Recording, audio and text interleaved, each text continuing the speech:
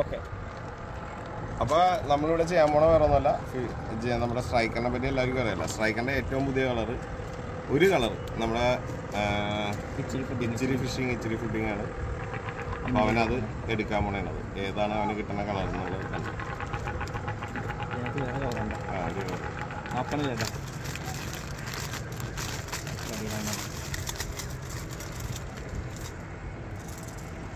അപ്പോൾ ഇതാണ് സ്ട്രൈക്കറിന്റെ പുതിയ കളർ എടുത്തിരിക്കുന്നത്.